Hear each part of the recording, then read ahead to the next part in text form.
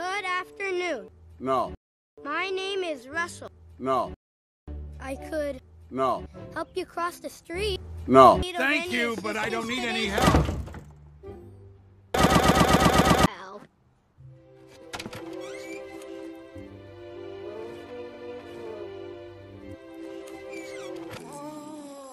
Come on, Russell, would you hurry it up? I'm tired. tired. And I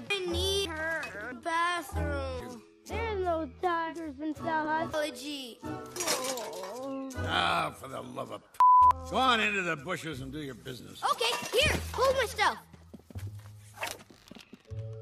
I've always wanted to try this.